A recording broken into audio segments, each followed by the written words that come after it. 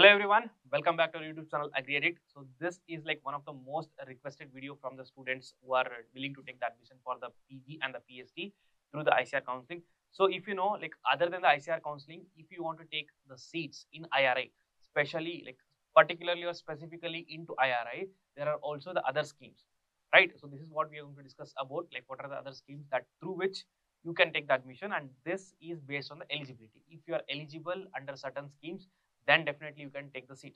So I have already made a video on the self-financing seat at IARI. So this year, if you know, from the uh, academic year 2025-2026, the IARI has introduced the self-financing seat, but it is not completely about the payment seat. It is a seat which will be given to the students who have cleared the other exams other than the ICAR exam and this self-financing seat do not get confused. It is only for the PhD admission. The self-financing seat is, is only for the PhD admission, not for the PG admission. So this thing should be clear.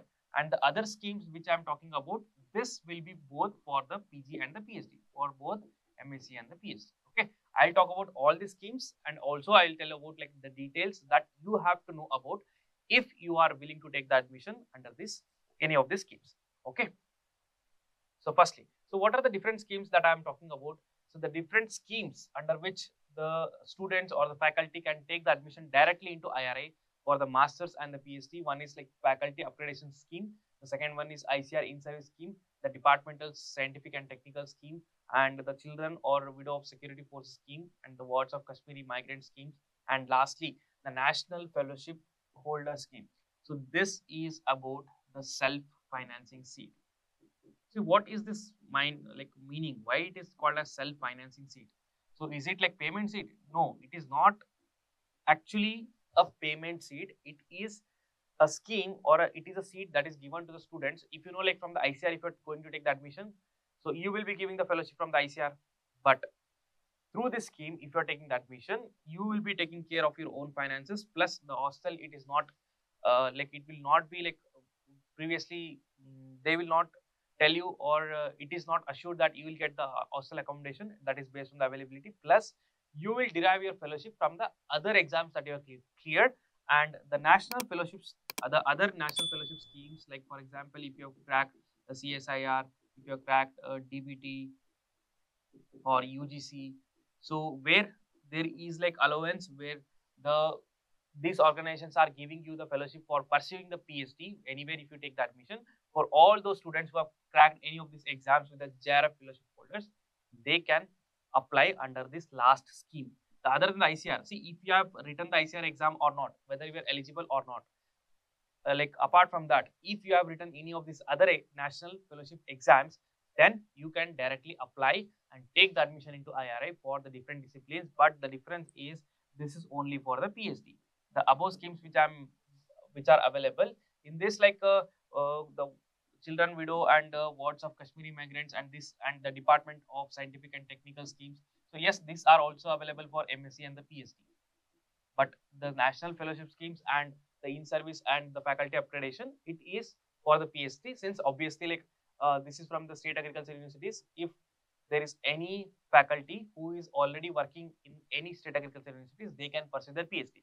And the ICAR in service, like any scientists who are working in ICAR institutes, they can pursue the PhD through these schemes.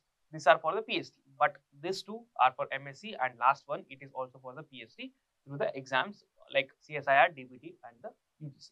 So this notification has been just released by I, I, IARI today. So and the Google like I'll just explain the complete details like how to do it and uh, what is the admission process here and how you are going to get a seat and what are the different things they are going to consider. First thing, what is what about the eligibility? See, eligibility for the first five uh, for the first five schemes. Eligibility for the first five schemes is very simple. That you have to write this ICAR exam, PG or the PhD exam, and you have to enter your scores through which you will be eligible. And for the last exams, whether you write the ICAR exam, it is not compulsory, but you should be having like the fellowships of like CSIR, as I told you, UGC, DBT, only then you can apply for this exam. Okay, sorry, apply for this seats. So this is about the basic eligibility. Plus, if you have written this ICAR, PG or the PhD, in this you should not be having zero or the negative marks. So remember, and you should not be and the university where you have pursued your uh, UG should be recognized by UGC or okay. So next, uh, this is like no zero or negative marks should be there. So this should be the basic eligibility criteria for applying under the first four, five, first five, five schemes for the ICO. Like you, you have should be written this ICAR PG or the PhD exam plus the marks, the rank that you have scored. It should be like not zero or negative. Okay. So the de in detail guidelines have been also prescribed, but I'll be only highlighting the very important things. Other things you can just uh, go through the document and see it by yourself. Okay. Uh, first thing, for the PhD admission, there is one Google form link. For the national fellowship holder, there is a separate link. You have to apply through this. For all other five schemes, which I told you, this is the uh, uh, Google form for the PhD. You have to fill it here. And for the MSc, this is the Google form.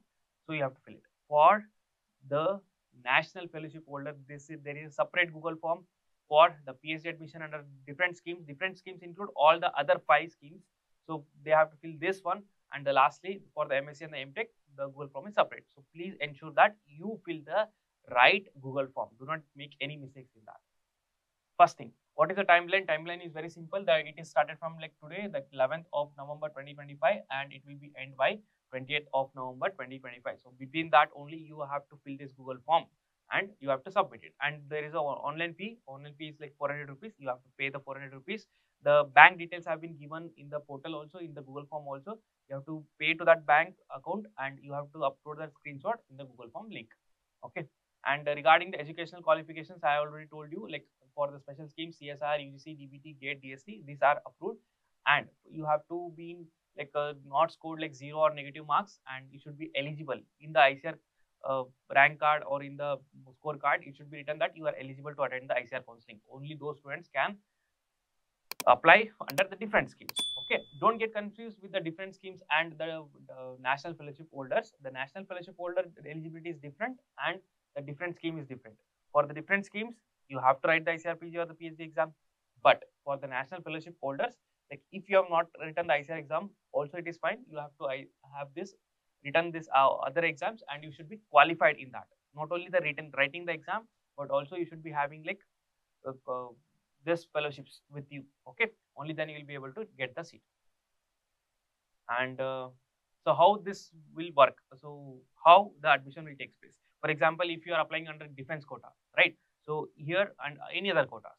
See you will fill the google form. So once after filling the google form they will verify your documents. So across the departments like to, based on like total number of applications that have been received under different schemes they will make a ranking okay? They will make the ranking and this ranking will not be disclosed to you. So they will make their own ranking and based on the ranks so based on the rank and based on like which department you are willing to go based on the rank they will start allotting the uh, seats under different categories. And there is like specific rules under different categories different schemes. There is specific rules for the different schemes.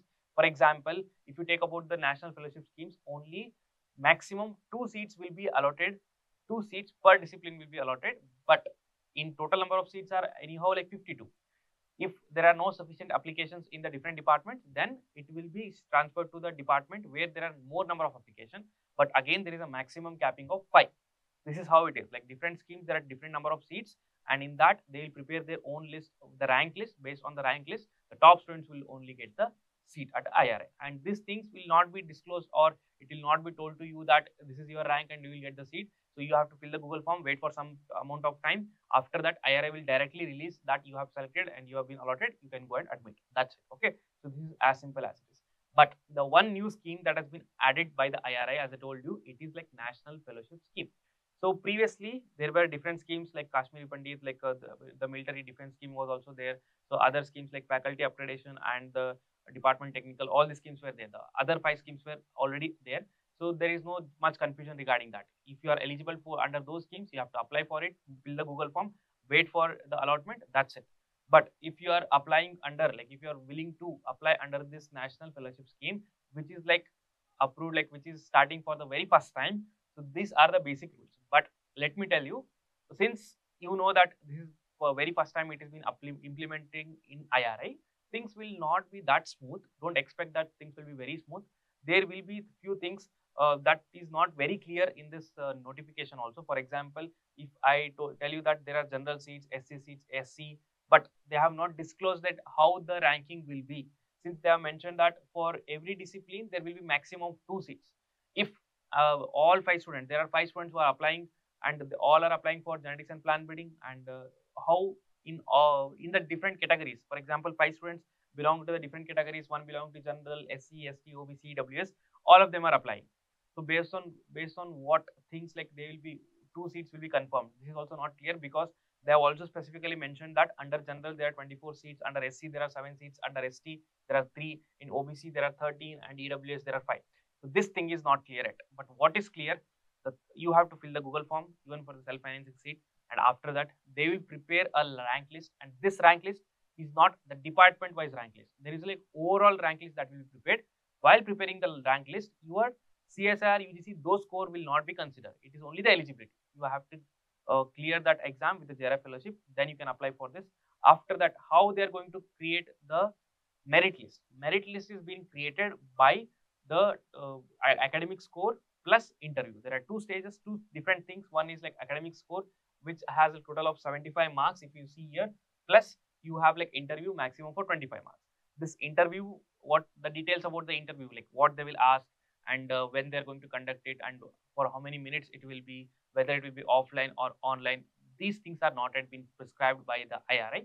So wait for the detailed notification. If there is any update, definitely we'll come up with a video and explain you each and everything in detail. Anyhow, like generally speaking, if you talk about the interview, obviously they will ask you about the particular subject only. So be prepared for that. Plus, you know the marks, it is for 25 marks, you have to attend the interview. So based on that, there are total of 100 marks in this academic score. In the academic score, they have mentioned that it is like 10th, 12th and uh, 10th, 12th marks that they are going to consider. Graduation, the three things, 10th, 12th and graduation. And for the 10th, there is a 10 marks. For 12th, there is 15 marks. And graduation, there is a 20 marks. And if you have done, like for post graduation, there is 30 marks. So how it will be uh, distributed? So it will be distributed like this. So they have given an example. As I told you, like it is maximum 75 marks, in which 10th is uh, for 10th it is 10 marks, for 12th 15 marks, for graduation 30 marks, 20 marks, and for post graduation 30 marks. In this, how they are going to divide.